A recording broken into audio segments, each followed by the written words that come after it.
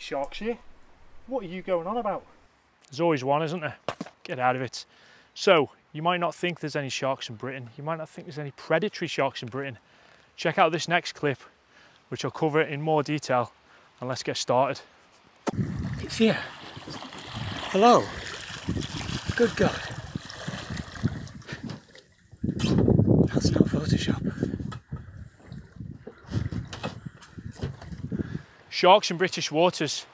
There's over 10 million sharks in our waters. There's 100,000 large sharks spread across 40 species, of which 20 are here all year round. Confirmed sharks, we've got the basking sharks, we've got the elusive Greenland shark, and we've got the porbeagle sharks, which is like a mini great white shark, although they're not that small. You've got the blue sharks, you've got the Atlantic shortfin mako, which is probably the most dangerous shark in our waters. We've also got the smooth hammerhead, the tope, not sharks, but similar subject. I'll talk about the orca killer whales that we have here. And also, I'll let you guys know what my thoughts are on whether great white sharks frequent our waters. Now, I'm pretty highly caffeinated right now, so uh, I apologise for that in advance. Blue sharks can grow up to 13 feet long and up to 530 pounds. That's massive. To size comparison, my paddleboard is only 10 foot 6. So this shows how big these things get to. So they feed primarily on fish, squid. Uh, they're a favourite snack of the great white shark. Got a sleek body with large eyes and a pointed snout. The pectoral fins are quite long, as is the tail fin. Uh, it's a large predatory species found primarily south of England. However, they have been tracked up north. There are charters in the south of England that will take you swimming with these things. Uh, if you look at this uh, footage from Crusader Charters, this was taken yesterday. I mean, check this out. This is British waters. Look at these things. So in summer 2016, a 242 pound blue shark was caught off Milford Haven, uh, off the coast of Wales. And then in 2017, an even larger one was caught off the coast of Cornwall. Uh, I believe these do quite often come quite close to shore and have closed beaches in the past. Attacks of blue sharks on humans are very, very rare. Uh, there's only uh, four confirmed cases of fatal blue shark attacks on humans and 25 confirmed non-fatal attacks worldwide. Porbeagle shark. This is the one I'll focus on most. So this is like a mini great white. The footage I'm about to show you is from Ken Pike, who's kindly sent this to me. Thank you, Ken. July the 2nd, 2021, so last month, he was out on his boat Dreamcatcher when he was fishing. Uh, I believe he had mackerel on and then as he uh, was reeling it up, this thing turned up, which is a porbeagle, to have a look. Look at the size of this thing. You would swear this is a great white shark. Hello. Good God. That's not Photoshop.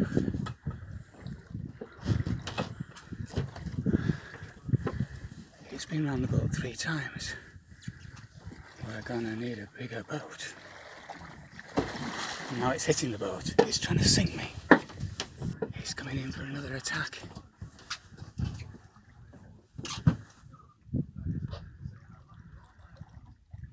Wow, you're beautiful.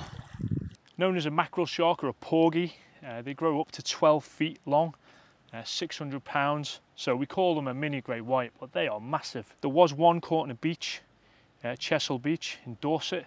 I'll show you some pictures of that on the screen. This was only a relatively small one. Look at the size of it compared to these young lads. So they're found all around the UK, primarily in deep waters. However, they will come close to shore if there is uh, abundant prey there. They're a pelagic shark, which means they swim in their sort of mid-level. They're not particularly deep shark. They don't swim too close to the surface generally. They're quite a stout, compact, uh, powerfully built predator. Um, sort of body similar to that of a bull shark. It's absolutely jacked. Some of the large porbeagles caught off the UK uh, that May 2012. There was a 17 foot one brought in on North Devon weighing around 600 pounds. 240 and a 500 pound one caught off the coastline of Devon and Cornwall in April 2017. Very much like the great white shark, um, has an unusual system for heating their body temperature. Uh, heat generated by the muscles is recirculated, meaning that they can swim in waters much warmer than their body temperature. So it's a common misconception that large predatory sharks don't come into British waters because it's not warm enough.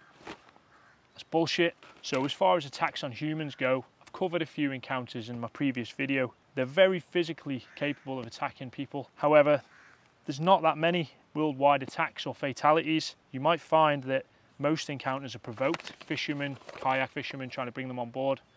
I mean, if I was a shark, someone tried to reel me in, I would take their hand off as well. So the thresher shark then, these things can grow up to 25 feet long, although half of that is in their tail. Uh, they feed on shoaling fish such as mackerel and herring, primarily. Again, another powerfully built shark. They're found all around the world in tropical and temperate waters. Like the porbeagle, they can heat their own body above their water temperature. These sharks, these sharks hunt in small packs, so which is quite unusual for sharks. Um, have been known to uh, breach out of the water when uh, attacking prey and also have been known to use their tail to whip prey to startle it before going in for the kill. Uh, there's been no confirmed reports of uh, human deaths due to thresher sharks and only a handful of attacks. These are the biggest fish in our waters. Uh, they grow up to sort of 28 feet and around the 900 to 1000 pound mark in weight. They're a huge species, normally dark grey or like a brown colour. Obviously they're the second largest shark to the whale shark. They're not aggressive and they're quite, they're quite a calm animal around the boats. So uh, where I live, the Isle of Man, it's a bit of a basking shark hotspot.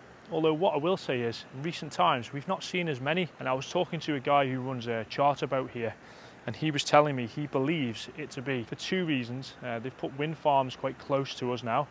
Uh, apparently there's quite a lot of vibrations off those and also um, they laid a, a, large electricity cable uh, from Ireland to us and they believe that the uh, waves or shock waves, DC, whatever, coming from those, uh, the sharks don't like them. So, I mean, we have seen them this year, just not as many as we would normally. So, uh, they're one of the few shark species that feeds on plankton on the surface. So, you know, you're not going to get bitten by one of these. However, there has been a fatality due to basking sharks, which I did cover in a previous video. So this, this shark, bit of an elusive uh, bad boy, this one. It was only filmed in the wild for the first time in 2003. I've got trainers older than that. Uh, the size is generally unknown. We don't know a lot about this shark, but at least 24 foot in length, and they can weigh up to 2,000 pounds. They're widely distributed in cold waters. Uh, they're very slow moving. Uh, however, they are, they are the second largest species of carnivorous shark uh, second to obviously the great white shark. They rarely encounter humans. You've probably got more chance of seeing a Sasquatch, Bigfoot, than you have one of these. In 2016, research showed come across one that was nearly 300 years old and it's believed that they do live longer. So it's quite quite crazy to think that there could be a, uh, one of these swimming around that was around way, way back in the day, you know. Top speed is about 1.6 miles per hour. They're fairly slow. Pretty much all the ones that have been videoed have got like a parasite on the eyes, so it makes them uh, blind, essentially. The Greenland shark, the largest living vertebra in the world, and let's face it, nobody knows much about them, so I look forward to uh, hearing more. Short fin Atlantic Mako then. Said it before, this is the most dangerous shark in our waters uh, that we know of. talk about great whites in a bit. Uh, they grow up to 14 foot in length, uh, in excess of 1,300 pounds. There was an incident in 1996 in the North Sea uh, near an oil rig where there was a registered attack, believed to be one of these. Haven't got any details on that for you. Uh, they're widespread around again subtropical and temperate waters. They're a strong, powerful shark. It's believed this shark had some involvement in the Red Sea attacks uh, back in uh, Sharm el-Sheikh. It's one of the fastest swimming species as well. Uh, can reach speeds of in excess of 50 mile an hour in bursts. Uh, only two weeks ago, one of these was spotted uh, off the coast of Wales, which is only about ooh, 60 miles that way. So in a future video, I am going out looking for these. Stay tuned for that. 2013, boat anglers reported seeing shortfin makos off the coast of Cornwall. December 2014, uh, one washed up on a beach. So these are more of an all year round species. Again, like the porbeagle and the great white, these can regulate their own body temperature. Uh, they can travel massive distances as well. One was tagged in the Mediterranean and uh, made its way to America. Uh, there's a wide belief when it comes to great whites that the Mediterranean is a bit of a a birthing ground for them and then they, they move on. So who knows, could be a similar thing. So in British waters, it's, it's probably known as an apex predator, which means it's got no real natural um, predators other than orcas that we know of. Uh, but because they're so fast, it's unlikely they'd get hold of one of them. Uh, International Shark Attack File states there's been 42 uh, Mako attacks worldwide since 1980, uh, three of which were fatals. You've got your angel sharks. These are quite a peculiar looking fish. Uh, they're sort of half between a shark and a ray. Uh, they're only small, about six foot, about 70 pound in weight. Uh, they feed on fish primarily. There's been no attacks. And as well, tope. Tope, now these are quite a, a small shark known as a school shark. They grow up to six feet, about 100 pound. They, these are here all year round. Uh, they feed on fish. But one thing that's quite interesting about tope is uh, there's loads of uh, reports of people reeling tope in because it's quite a popular fish, uh, shark to catch. Getting nailed by other sharks. There's plenty of footage out there of someone reeling one in and then a, a mako, a blue shark, perhaps comes up and just takes it. A rare sight in British waters, but they have been confirmed because they do come here. Pretty hard to misidentify. Obviously, it's a hammerhead shark. There's actually nine different types of hammerhead sharks, uh, but this one, having a more smoother, rounded head, has been seen in our waters. Uh, again, I think they grow up to about 12 feet, roughly about 600 pounds, but a rare fish. We don't see much of these. Orcas, killer whales. It might surprise you to know that we actually have a resident group of them year round in British waters. Um, normally based around Scotland, northern Scotland. However, uh, this year, 2021, in the spring, they made their way down to Cornwall, staycation, I guess. Obviously, there's no passports, these things can go wherever they want, which is interesting geographically. Here on the Isle of Man, they probably passed, passed the Isle of Man to get there, would make sense. But we have had sightings here uh, on the south of the island, sort of near the Sound, Port Erin area, uh, about 10 years ago, where uh, an orca killer whale was seen taking a seal quite a lot of seals down there. That's where I would go freediving if I wanted to see seals. They grow up to 10 metres in length, they can weigh up to 10 tonne and they live for about 90 years, which I suppose you a good innings for a human would be 90 years if you didn't plough yourself with copious amounts of caffeine like I do. Now other killer whales do frequent our waters. Uh, normally, I'd say they head north, uh, Shetland and Orkney area, but in April 2018 a separate pod of six uh, went to the River Clyde. Uh, again, January 2019, one that's been known called John Coe, uh, due to its markings on its dorsal fin or shape, took itself down to Moray Firth, and again in 2020 uh, uh, they were in Northumberland. There's a lot of research that states they've, uh, they're the reason why great white sharks are disappearing from South Africa. They're known to kill great whites. There's a video of it on YouTube somewhere of an attack. Um, that being said, they're not greedy. They tend to kill whatever they've they've had. Then they'll eat like the tongue, maybe the bottom jaw, take out the liver with like surgical precision, and then leave the carcass for uh, all the other crustaceans in the sea to have a crack at. They're also known to breach like great white sharks are. Uh, they can jump out of the water. There's some footage here of an 8 meter orca uh, jumping out of the water 15 foot uh, these images were captured during a two-hour pursuit where the orca was hunting this dolphin. Bad news for the dolphin, it got nailed in the end. Apparently, if you do encounter one, you are to maintain a constant speed and let it interact with you in its own its own way. There's some mega footage on YouTube of uh, people paddleboarding and them coming up to them. Uh, your the chances of you seeing one of those very very rare. That leaves one question really, doesn't it? Do I think great white sharks frequent British waters? Yes, I do. Uh, I'm going to talk about this in more detail. Obviously, this is part of the Great White Sharks in British Waters series. By the way, just clarify, I'm not a nut job. This is a very feasible thing.